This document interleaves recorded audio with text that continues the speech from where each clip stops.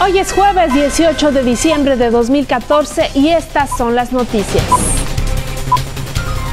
Luisa María Calderón Hinojosa será la candidata panista a la gubernatura de Michoacán. Desquicia el estaspe a los morelianos, toma oficinas y bloquea calles y avenidas por toda la ciudad. No descarta gobierno descontar salario a burócratas y tomar otras medidas legales.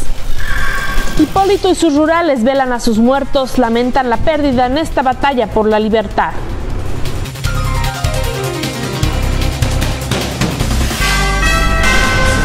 Hola, ¿cómo le va? ¿Qué tal? Bienvenido a Respuesta TV. Mi nombre es Mónica Mori y les saludo con aprecio como todos los días a través de este espacio informativo www.respuesta.com.mx. Por supuesto, transmitiendo desde la ciudad de Morelia en Michoacán, México. Y estas son las noticias al día de hoy. Luisa María Calderón Hinojosa será la candidata panista al gobierno de Michoacán.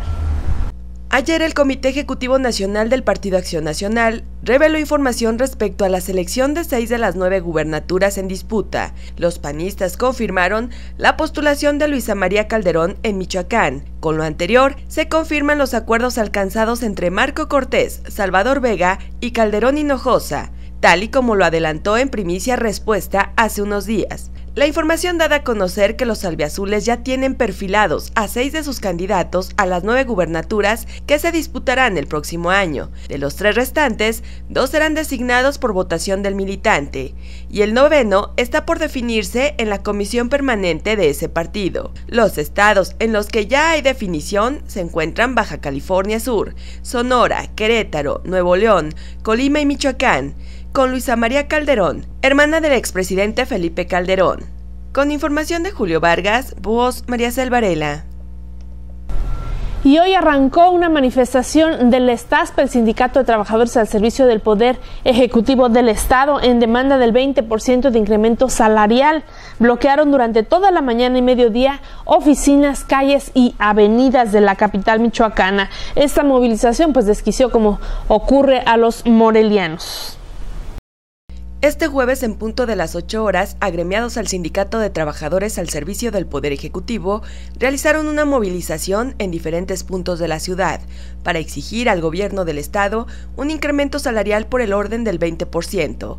Al respecto, Antonio Ferreira Piñón, secretario general del Estaspe, rechazó que el aumento salarial sea ambicioso, debido a que existen muchos trabajadores que ganan 3.500 pesos al mes, mientras que el gobierno del estado no aplica ninguna política de austeridad. A las 15 horas terminó el bloqueo de oficinas y vialidades, según confirmó el dirigente, quien dijo que en este momento la organización sindical aceptaría del gobierno un incremento salarial del 8%, pero tendría que ser retroactivo. Con información de Alejandra Martínez, voz María Selvarela. Una provocación hacia el gobierno fue la movilización del Estaspe, considera el gobernador Salvador Jara. Como una provocación hacia el gobierno, calificó el mandatario estatal Salvador Jara Guerrero a la movilización que este jueves ha emprendido el Sindicato de Trabajadores al servicio del Poder Ejecutivo, en donde ha paralizado labores en la totalidad de las dependencias, así como el bloqueo de calles en donde se encuentran cada una de estas. Señaló que esta movilización, como las últimas que ha realizado el Estaspe, está en la ilegalidad, por lo que no descartó que se vaya a descontar el salario a los trabajadores que participaron en la movilización. Sin embargo, confió en que no se dé, ya que dijo que si detienen el paro podrían reconsiderarse y no descontarles. Y respecto a señalamientos del líder sindical de que es una burla los ofrecimientos a trabajadores, aseguró que no es una burla, pero si así lo fuera, no es para que afecten a la ciudadanía de esa manera. Con información de Lidia Martínez Avilés, voz María Selvarela. Y no descarga el gobierno descontar salario a burócratas y tomar otras medidas legales. Así lo informó el secretario de gobierno Jaime Darío Ceguera al hacer un llamado a los manifestantes para que dejaran la movilización. El secretario de Gobierno del Estado, Jaime Darío Ceguera Méndez, hizo un llamado a la generosidad de los trabajadores del Poder Ejecutivo que en este día tomaron las oficinas públicas, avenidas y calles de la ciudad de Morelia en protesta, derivado a que no han concordado ambas partes respecto al incremento salarial de los burócratas, En ese sentido, el secretario no descartó que el movimiento emprendido en contra del gobierno del Estado tenga consecuencias legales, ya que a decir del funcionario, el Estado tiene el derecho a descontarles el día por no laborar como corresponde. Señaló que evalúan la posibilidad de un descuento por no trabajar en este día. No obstante, dijo, prefieren conciliar para que no se afecte a terceros, que en este caso son los ciudadanos que no han podido llegar a trabajar o que están parados en el tráfico. Con información de Carla Yala, voz María Cel Varela. El gobierno está imposibilitado para mejorar la oferta al Estaspe. Trabajadores exigen un pago retroactivo de aumento salarial. Gobierno de Michoacán se declaró imposibilitado para mejorar su ofrecimiento hecho al Sindicato de Trabajadores al servicio del Poder Ejecutivo. En tanto, los burócratas siguen inconformes por la negativa de la parte patronal de cubrirles el pago retroactivo del aumento salarial del 20%, mismo que no les fue cubierto durante todo el año y que la autoridad pretende solo hacerlo efectivo en las quincenas de este mes de diciembre. Jaime Darío Ceguera, secretario de Gobierno, declaró esta media mañana a una radiodifusora local que no hay la posibilidad ni disponibilidad financiera para mejorar esta propuesta y otras prestaciones, e hizo un llamado a los trabajadores sindicalizados que suman cerca de 7.600 en todo el estado y han paralizado no solo labores, sino también circulación vial, a que retiren los bloqueos y no afecten a terceros. Con información de Teresa de la Torre, voz María Selvarela asegura la Universidad Michoacana de San Nicolás de Hidalgo que este viernes pagará lo que les debe a sus sindicatos. Tesorería de la Universidad Michoacana notificó a los sindicatos de la institución, tanto de profesores como de empleados, que este viernes pagará, tras de que acudieron a manifestarse al Congreso este mediodía para presionar y manifestar su inconformidad por la falta de pagos este jueves, tanto de aguinaldos como canasta navideña y la segunda quincena de este mes. El dirigente del Sindicato de Empleados de la Universidad Michoacana, Lauro Chávez Rodríguez, anunció que por lo menos el aguinaldo será pagado este viernes, tras haber tenido comunicación con Rectoría. Al confirmar haber tenido comunicación recibida del tesorero Nicolaita Horacio Díaz Mora, aunque aún no se dispone de la cifra completa para la cobertura total de las prestaciones para ambos sindicatos, tanto académicos como el sindicato de empleados, misma que suma poco más de 500 millones de pesos en total, serán erogados los recursos para el pago de los aguinaldos este viernes. Con información de Teresa de la Torre, voz María Cel Varela. Hipólito Mora y sus rurales velaron hoy a sus muertos. Hipólito Mora Chávez y sus rurales velan los restos de sus muertos y lamentan su pérdida en esta batalla por la libertad, aquella que siempre han anhelado desde que se levantaron en armas el 24 de febrero de 2012, y cuyo duro tramo para alcanzarla se ha visto manchado de sangre en varias ocasiones, recuerdan ellos mismos. Hipólito permanece al lado del féretro de su querido Manolo, su descendiente, de apellidos Mora Moreno, y sí, acepta que se siente culpable por su pérdida. Con información de Red 113 Michoacán, voz María Cel Varela. No descarta Salvador Jara más enfrentamientos en el interior del estado. Reconoce el gobernador que el conflicto en Tierra Caliente es un revés a lo que se había avanzado en materia de seguridad en el estado.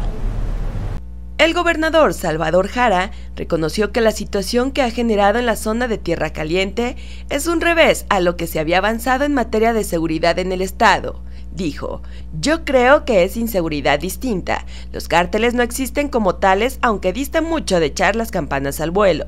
En entrevista al mandatario estatal, no descartó que se puedan presentar más enfrentamientos en el interior del estado, esto debido a que aún hay civiles armados, por lo que consideró que por el bien de Michoacán es mejor que la fuerza rural no esté armada. En torno a la situación del enfrentamiento en la Ruana, dijo que se aplicará la ley. Con información de Lilia Martínez Avilés, voz María Cel Varela. Buenavista no es un foco rojo, pero el IEM, el Instituto Electoral de Michoacán, de todos modos revisa aspectos latentes en todo Michoacán. Los hechos violentos de Tierra Caliente y el enfrentamiento en la Ruana no afectarán el desarrollo del proceso electoral 2015, por lo que está garantizada la celebración de los comicios, dijo el consejero presidente del Instituto Electoral de Michoacán. Hasta el momento, no hay un elemento que haga pensar en echar atrás la jornada electoral, precisó en entrevista, y aclaró que estos sucesos del martes nada tienen que ver con el proceso. A más de mes y medio de haber iniciado los trabajos de organización de la elección estatal próxima, Reyes Hernández dijo que no se ha registrado alguna complicación relacionada con la inseguridad. Más de hecho, sostuvo que Buenavista Tomatlán, a pesar de lo ocurrido en la Ruana, no está convertida en un foco rojo electoral, sino en un punto de atención en lo referente a la organización de las elecciones. Con información de Teresa de la Torre, voz María Cel Varela y el Consejo General del IEM aprobó el reglamento para garantizar el derecho a réplica durante el proceso electoral, mismo que regulará por un lado el derecho a la libertad de expresión y a la vez el derecho a la defensa del honor.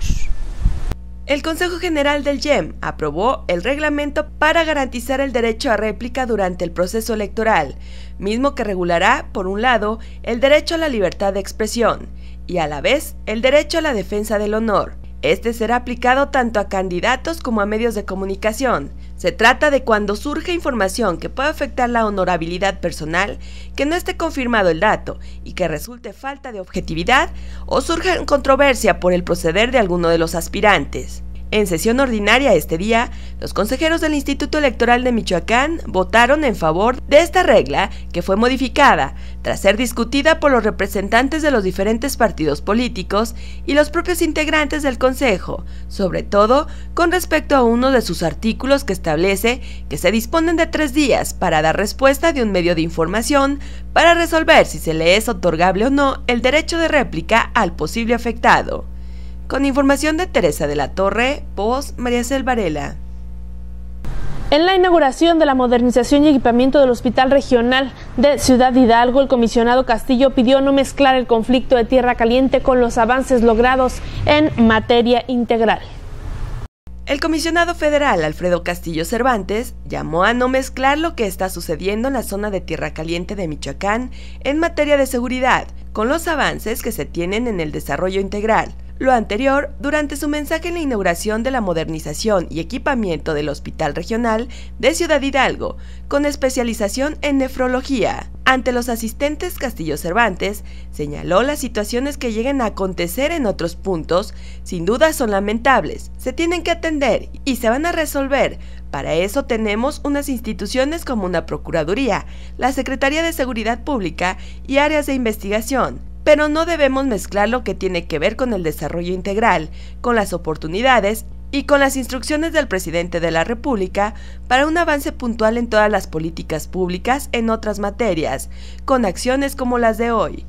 Con información de Lilia Martínez Avilés, voz María Cel Varela. Y debido a que este año cambiaron las reglas de operación, morelianos fueron beneficiados con el programa de empleo temporal. Los morelianos fueron beneficiados con el programa Empleo Temporal en Michoacán, que encabeza la Secretaría de Comunicaciones y Transportes, miembro de la Comisión Intersecretarial para la Previsión Social de la Violencia y la Delincuencia, gracias a que en este año cambiaron las reglas de operación, puesto que el apoyo social era exclusivamente dirigido para zonas rurales. El programa de empleo temporal impulsa proyectos que generan fuentes de ingreso para habitantes de zonas vulnerables, propiciando arraigo en sus comunidades de origen y una dinámica económica que genera bienestar social. En Michoacán, señaló Roberto Campas Cifrián, subsecretario de Prevención y Participación Ciudadana, que se han invertido cerca de 114 millones de pesos repartidos en Morelia, Uruapan, Apatzingán y Lázaro Cárdenas, Explicó que el programa tiene dos grupos de atención prioritaria, que son las mujeres y los jóvenes en situación de pandilla, que además son vinculados con empleos temporales. Con información de Carla Ayala, voz María Cel Varela. Viene la segunda feria del mezcal artesanal de Río de Parras. Se espera la participación de 70 productores de mezcal de la región. Del 19 al 21 de diciembre se realizará la segunda Feria del Mezcal Artesanal del Río de Parras, en Queréndaro, donde se presentarán 70 productores del mezcal de la región, por lo que esperan una derrama económica de 200 mil pesos y más de 5 mil visitantes, Juan Prambila, subsecretario de Fomento de Producción de la Secretaría de Desarrollo Rural, informó que existe una superficie de 4.351 hectáreas, de las cuales están en proceso de cosecha 1.099, generando una producción en 2013 de 80.599 toneladas, destacando que el valor de la producción se encuentra entre los 82 millones de pesos. Aseguró que la Secretaría de Desarrollo Rural les ha apoyado en la producción, industrialización y la comercialización del cultivo de agave que se desarrolla en 66 comunidades de 29 municipios del estado. Con información de Debbie Vega, voz María Selvarela. Le agradezco su atención y le espero mañana que ya es viernes aquí en www.respuesta.com.mx. Hasta entonces.